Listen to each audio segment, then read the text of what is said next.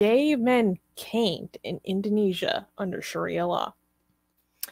Authorities in Indonesia, Aceh province, publicly caned two gay men, a total of 77 times each, with rattan sticks. In Aceh's uh, Taman Sari City Park, dozens of citizens witnessed the cruel enforcement of Sharia law. Human rights activists chided Indonesia's authorities for the sadistic showcase. The homosexual men were caned in public after vigilantes detained them. Aged 27 and 29, the two men were arrested in November after crowd uh, after a crowd of residents invaded their rented room where they were purportedly discovered having a sexual encounter. Originally, the men were sentenced to 80 strokes by a Sharia court weeks ago. But instead, the court flogged the men 77 times since they had already served some prison time.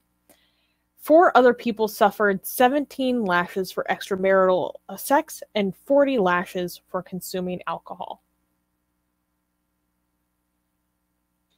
Oh, this is crazy. It's it's always Aceh, isn't it? Yeah. Aceh. That's that's the province in Indonesia that is the most religious and has the most Sharia. Yeah, so my understanding is that um it's not every province in Indonesia that's like this. This is fairly specific to Aceh because of um, like an agreement um, when there was a bit of an insurgency. Um, wait, okay. Since Sharia law took effect in October 2015, when the government conceded to end deep-rooted a deep, deeply rooted separatist insurgents, Indonesia citizens witnessed the third caning for homosexuality, which is this caning. Sharia law is practiced only in Aceh province. Yeah, but Indonesia needs to be held responsible for that, even though it's not all of Indonesia. Oh, of course. Like one law for all, let's be clear.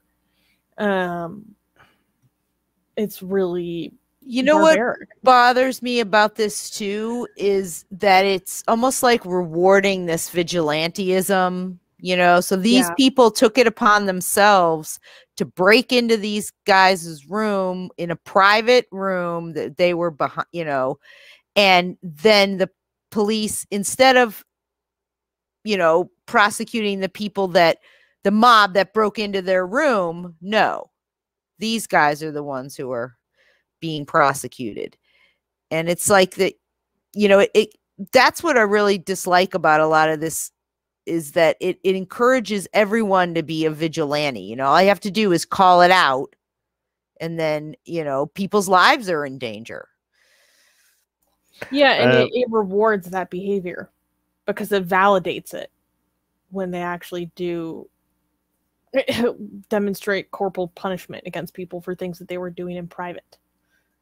Bish has an interesting comment, which is uh, true. Uh, seems like uh, he, he or she is saying, seems like Aceh province is the sh- uh, Sharia Uttar, Uttar Pradesh of in, Indonesia. Yeah, so Uttar Pradesh in India is like Aceh and um, in Indonesia. They have a very, yeah, True, true, true, true. And both Indonesia and India are getting more and more religious, so that's also mm-hmm. something too. I mean, the government at least, not the people.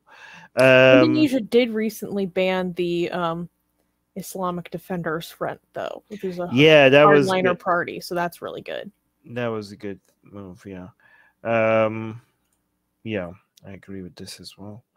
And also subscribe to our newsletter because if we get removed from all these uh, platforms, at least we could reach out to you. And guys, by the way, if you subscribe to our newsletter, you get a free copy. Uh, why there's not? Where's your copy, Susanna? Get it, get it, get it. We're doing promotion. You get a free. It's not even promotion. It's free. Okay, so if you subscribe to our newsletter, link in the description, you get a free copy of Why There's No God. Ah, come on, like I'm handing it out for free. Okay, it's a bestseller on Amazon, and you get it for free. So subscribe to our newsletter, and you get a free copy of Why There's No God sent to you. Link in the description.